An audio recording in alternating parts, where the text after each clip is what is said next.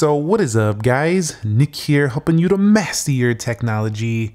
We got some terrible news today. Now, I've been reading reports that 2022 was the lowest shipment of smartphones since 2013.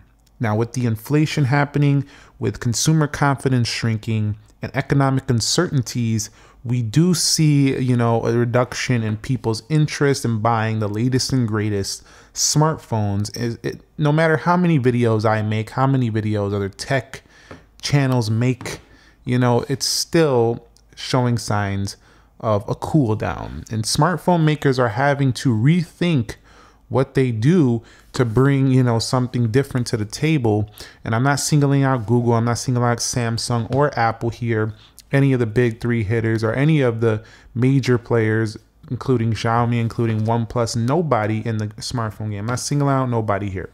All i'm saying is that it's cooling and this is some terrible news. As a techie as people that love smartphones around here we're not going to see anything majorly different if these companies keep playing it safe. So what I want to talk to you about in this video is why this news, you know, being terrible, why this stuff is happening, I believe. And then we could talk about it down below. I love to hear your opinions why you are kind of just bored with some smartphones lately or if you kind of feel like it's been slowing down too because I think there's an overall feeling amongst I, I read the comments amongst people. I'm keeping my phone, bro. I don't need that phone. I get these comments all the time. I don't need it. I don't need an upgrade. I'll wait till 2015 or till the iPhone 15. These are people who said that last year. Going to say it again next year. I'll wait till the 16. I don't need an upgrade. Bro, I just don't need it. So let's begin with the first one. Smartphones are simply maturing to the point where people don't really notice the upgrades that much. And you have to do something pretty different for people to notice. Apple really noticed that. They threw a dynamic island on there that was different enough to excite users who you know just love to have latest and greatest like me for example but users who are look a little closer into things watch what they spend a little bit more they still look at this and they look at a 13 pro and they're like that's the same phone so it's still not enough you know it's, it's not going to be enough to really excite people this maturity of these phones if you take a look at the galaxy s22 ultra and rumors are pointing to a similar looking S23 Ultra to this S22. We'll see what happens at Unpacked, but you know, if it stays the same, then we're looking at another phone that is kind of like, you know, the note was it the Note 10 or whatever, like this the square design, I mean, they brought it back, but this is not innovative anymore. It's not really groundbreaking. It's innovative to put new cameras, we get it, but cameras aren't the end all be all. Not everybody out there, I mean, mass mass consumers, massive amounts of consumers are not pro photographers. They're not pro videographers. This is a niche section of the market who really does this, who really cares about it and knows how to use all that stuff. I'm one of those people who love to use the cameras. I mean, you might be as well, but this is just not going to pull everybody in. That's why I like what Google Pixel is doing with the camera. They're working on the AI. They know people aren't all pro photographers, so they're just working on making them amazing for just those people who do point and shoot and don't really need to know how to use stuff. That's why I really like the Pixel experience with the camera. It's just it's more designed for just everyday users who snap a photo and it just does its thing. So I really like that. Now I will say though that the people are noticing that these phones keep denting their bank accounts. You know what I'm saying? Like we're noticing we're noticing y'all giving us some low trading values on phones we just paid a thousand dollars for last year. We're definitely noticing that. But we're also noticing that every time these phones come out, thousand dollars here, twelve hundred here, fifteen hundred here. That's US. Now if you're in another country, it could be two thousand. It could be even more. Shout outs to everybody letting me know the prices in your country, what it's costing for you. But we do notice that though. But if you want, if you're gonna want us to give up that kind of money, we're gonna have to see some major changes to the smartphone game for sure. The next thing is that the you know the software has been updated for a while. So I just actually got done updating my S22 Ultra. It's got an update yesterday. I got an update for the watch. I got an update for the Galaxy Watch and for my S22 Ultra. Apple just updated 16.3. They're currently working on the next versions as always. But keep in mind that you're going to get five, six years of updates for iPhone 14 Pro. The S23 Ultra is not going to stop the S22 Ultra from getting updated. And I'm not saying for them to stop updating, that would be terrible. What I'm saying is that the long term software support on these phones has reached a point where people are like, great hardware. I'm getting long. Why would I give up my phone? It, it works great, looks great, feels great, has amazing cameras, has amazing battery life, and the phone is going to be updated for several years. I'm not paying another grand for a phone right now. So, yeah, that's another reason I'm seeing. The next one is that people are like saying, look, bro, you know, the supply chain issues are causing highly desirable models to become delayed. And I seen this and you've seen it last year. It was ridiculously hard in the beginning to get a iPhone 14 Pro and Pro Max. And I know there's going to be somebody in the comments. It wasn't hard for me. I just went to my carrier and I got one. Yes, you're one person who got it.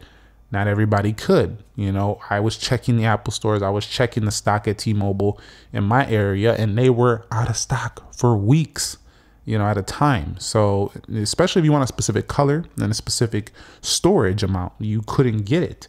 So, seeing things like that, this really affected Apple badly because they're one of the biggest sellers of phones. So, they, in, in the US anyway, they sell a ton. So, it was hard to get these.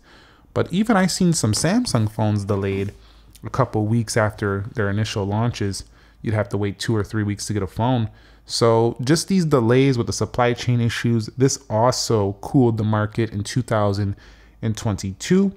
And, um, you know, these delays just throw off people because people want their phone. They want it now. if you don't get it to them now, you don't ship it as fast as possible, they're to lose desire. They're just to buy something else or they're just to be like, whatever, I don't need a phone that bad. Like, seriously, I, I was excited, but y'all don't even want to. Sh- you're gonna make me wait four or five weeks. I'll be over that. You know, the news cycle on these phones is so short. You know, you really got to hit it on the head. You got to get this this stuff to people when it comes out when they're excited because their interest will wane and it will wane pretty fast.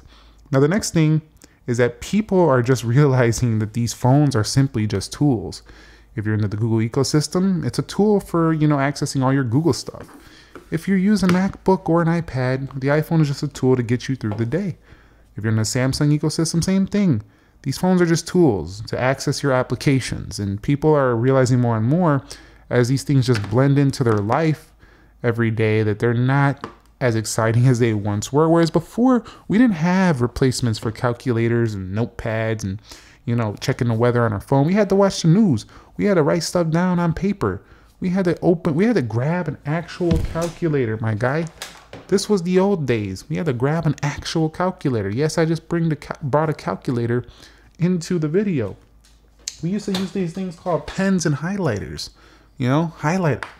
I mean, some people still do, but now we got S pens on our phone. We don't need this stuff. This stuff was amazing when it first came out. It was really making people rethink how they used products in their lives by just kind of replacing those products with smartphones. But at the end of the day, you know, now that it's been around a while, people are realizing the strengths and disadvantages of those things. Sometimes these overwhelm you and you just want to use the old school way anyway.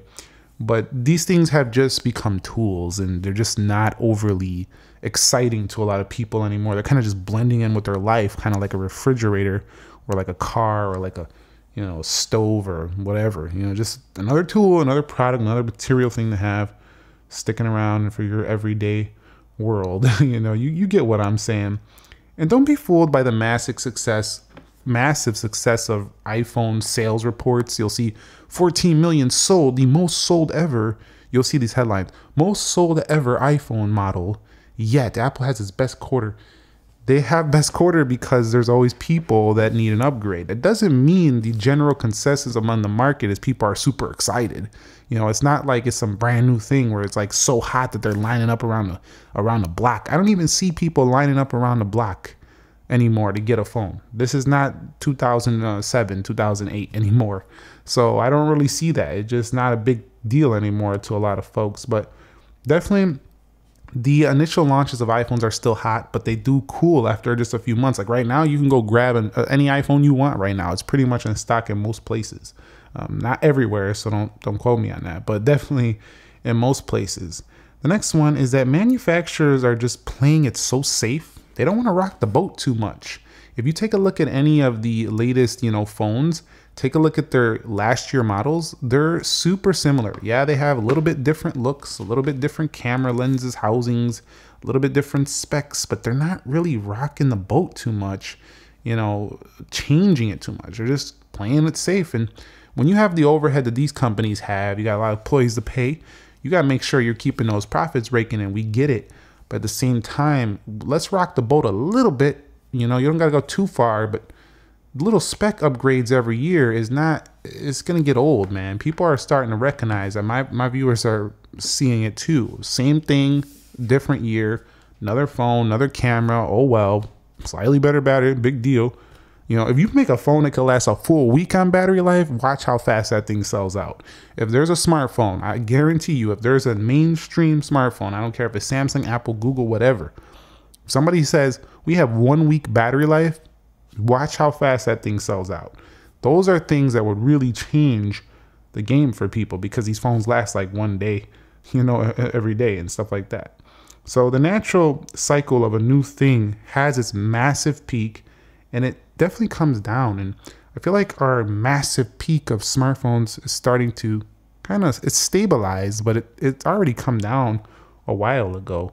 So um, yeah, some will say they're happy with their two-year upgrade. Shut up, Nick. You're just clickbaiting here. I'm not clickbaiting. This is something that I was researching this morning, figuring out that we had a very slow market this last year, and I'm a little bit concerned about the future of you know the smartphone game. You know uh, what I'm really like. You got to just change things up. So the Fold is a really good example of changing things up. It's something different. It feels different to use. You can pull the S Pen off. You enter display but this isn't for everybody. This is still niche. But for those people who love their entire, you know, slab style smartphone, we got to see some big changes here that are not just spec upgrades, but more experiential upgrades that really will get people excited to try a new experience on their device. And you know, I remember a time people said well, sidekicks are great, Blackberries are great. Everybody loved those phones back in the days. Once the iPhone came out, they didn't know they needed it. It's history. So we need something like that again where we didn't know we needed it. But yeah, the rest is history. I think Apple did this with their M series chips on the MacBooks and the Mac Minis. Having those chips really changed the game for computers. Now everybody's got to play catch up to Apple, and Apple's older Intel stuff is just slow now. So those are that's something that didn't really change overall experience, but really changed the speed experience, which makes it like a really desirable upgrade. That's what I'm saying. If you can make a one week battery life phone, something like that would be like game changing or a chip that allows for that long battery life if you can't really up the milliamp hours due to constrictions of the size.